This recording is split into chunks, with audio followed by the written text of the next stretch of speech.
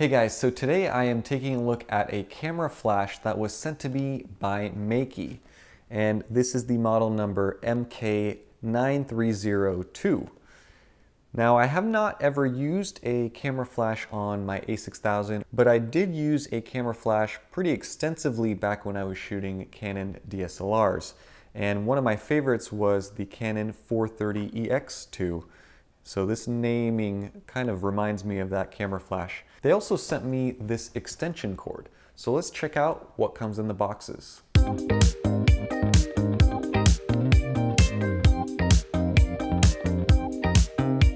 All right, so here is the box that this comes in. And so you can see at the front, you have the logo, the Meike logo. This is a picture of the flash and then the model number MK9302. Around the back, another picture of the front, uh, and then a bunch of nice specs on the side. So let's get into this. So once you open it up, you have a user manual, kind of like a tripod or a stand for the flash. So if you wanted to set it up on a remote trigger and just put this on a flat table somewhere. And the flash is in this nice pouch, which is kind of rain jacket material. Inside, see if we can pull this out. So it is bigger than expected. Speedlight MK932 for Sony, uh, made in China here. So you have electronic connections at the bottom for the hot shoe. And this rotates or I would assume that it would. Yeah, so it kind of clicks. So it will look like that if you're trying to shoot the flash directly in someone's face when taking a portrait, or you could bounce it off of a ceiling or a wall, which I would recommend doing. Around the front, you have the, um, the lens here, and then a flip out um, diffuser. And I don't know, that card is is just there permanently. So I'm guessing that is for bouncing light. Uh, but that is built in and not removable. So pretty interesting. I haven't seen that in a flash before. Uh, you can tuck those back in. All right, so you have uh, controls here. However, before I can show you that, I will need to put in four AA batteries. Now, along with this flash, Meike did send me this as well, which is an off-camera shoe cord, uh, which is pretty nice. So if you are planning on using the stand right here, you can connect that and still use your camera to control the flash using this cable here. This end would plug into your camera and then this end would plug in to the flash. So you could do something like this. Slide it in and lock it. And then take your A6000, slide this in and lock that as well.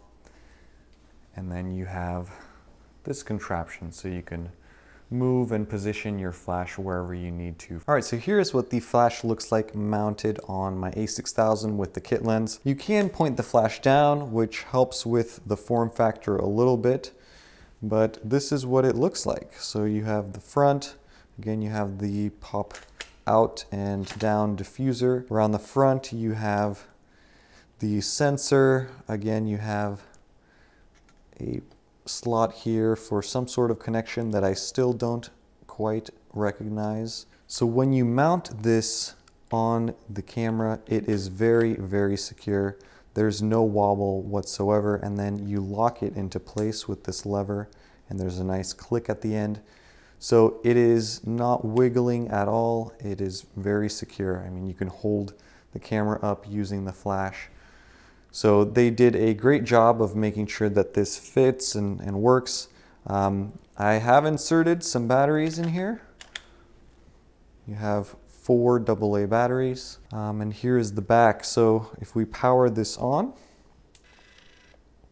you can see that the screen does glow in a green color. Now this, this button is the test flash, or at least that's what I call it. It's probably not what it's called. And so when you press it, you can probably tell that the background is flashing. There is a mode button here that allows you to cycle from multi to S1 to S2 to M, which is manual. I just keep it in manual mode because this flash only works manually with the a6000 and what I mean by that is the a6000 doesn't account for the flash and doesn't adjust the picture according to the settings in the flash which just means you should take a few practice shots with the flash. In fact, let me turn the camera on and show you what I mean. So if I'm in manual mode and you can tell I'm at 1 over 128, let's say I have no idea what I'm doing and I change this to 1 over 4, which is really high. So I have my lens here at f3.5. Let me just switch to full auto mode. F4. So if I depress the shutter and take a picture, if I play that back, as you can see, the picture is completely or almost completely washed out. And so the flash works, as you can tell, and it is very powerful, but this setting just is too powerful. So if we adjust this back down to, I have been using it on the absolute lowest setting, which is 1 over 128. If we do the exact same thing, and we play it back, now you can see that the image is a lot better, and you just have a little bit of additional flash there. Now you can obviously bounce the flash up off of a ceiling. You can also rotate this a full 180 degrees and bounce it off of something behind you. You can use the diffuser, all of that fun stuff. Let's see, what are the other buttons here? Pilot button here. So it's a pilot. Uh, mode button I mentioned, zoom button just to set how far you want the light to throw. 24 is the lowest setting. So we'll do that. And then just a set and then directional arrows on off switch. So very simple, very straightforward flash to use.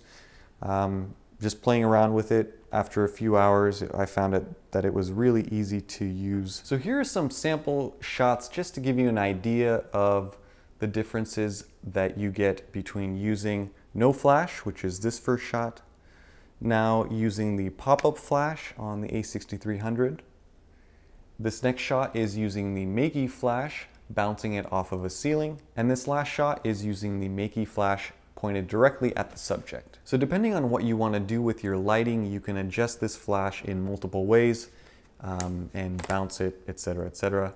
So it gives you that flexibility, which is very nice. I found that there were no issues, there were no misfires, the timing of the flash was excellent, everything just works, you click it, it flashes, it's all great. Um, it is very, very powerful. Here's just a shot that I took of a completely dark room.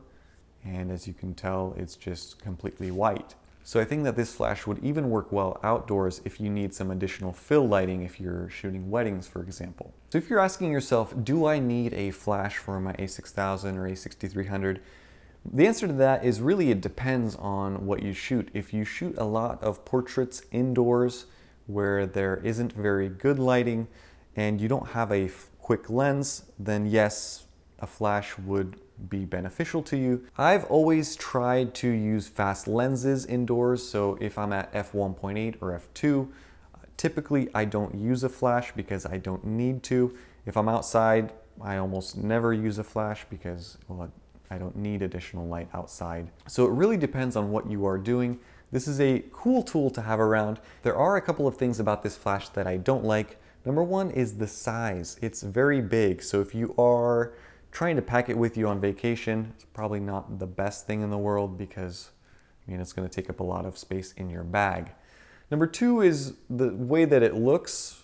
Uh, I mean, it's not horrible, but I wish it was a little more sleek, more modern, more elegant. I don't know. They could have done something.